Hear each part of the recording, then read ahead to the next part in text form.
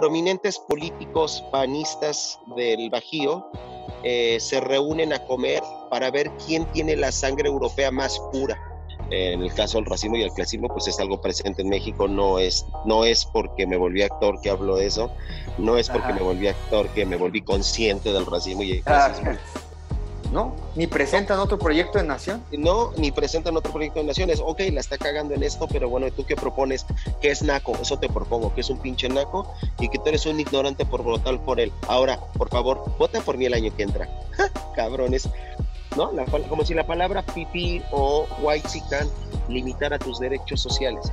Como si a una mujer, por decirle white chican, el día que va al seguro social a parir, sale de ahí esterilizada sin su consentimiento porque su raza no puede seguirse reproduciendo como sí sucede con las indígenas en el seguro social, por ejemplo, ¿no? Documentado, no lo estoy diciendo yo, hay documentos periodísticos que hablan al respecto. Como si la palabra white o fifi te impidiera un ascenso en el trabajo, como si la palabra white o fifi te impidiera acceso a la educación, un mejor salario o mejores condiciones de vida. No, esa palabra no tiene el poder porque ni siquiera tiene el peso histórico que tiene la palabra indio, que tiene la palabra negro, que tiene la palabra prieto, que tiene la palabra jodido.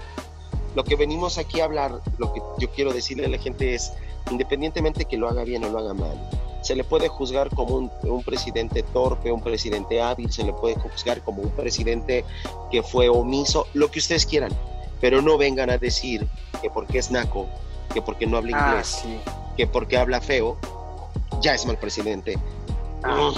No vengan a decir que solamente la gente idiota, prieta, jodida y resentida votó ah, por él. Exactamente. Porque la cúpula política de todos los partidos de, de México viene de la misma clase social.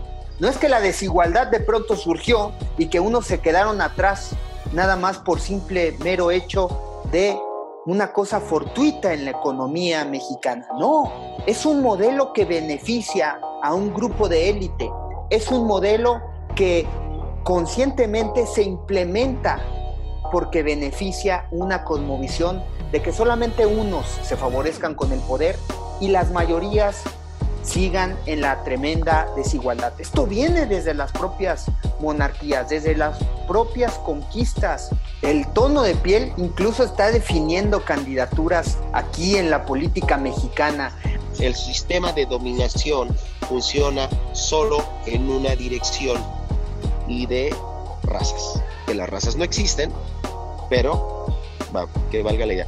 Las razas no existen, pero el racismo sí donde ellos creen verdaderamente que son unos favorecidos de la divinidad y que ellos sí trabajan. Y los millones que viven en la desigualdad y en la pobreza, ellos son unos flojos, que no le echan ganas, que no quieren tomar mando de su destino. Imagínate que de repente yo le digo, oye, ¿sabes qué? A partir de mañana ya no importa el apellido, a partir de mañana no importa tu tono de piel y a partir de mañana no importa tu clase social a partir de mañana vamos a ganarnos el trabajo por puro talento. No van a tener chamba.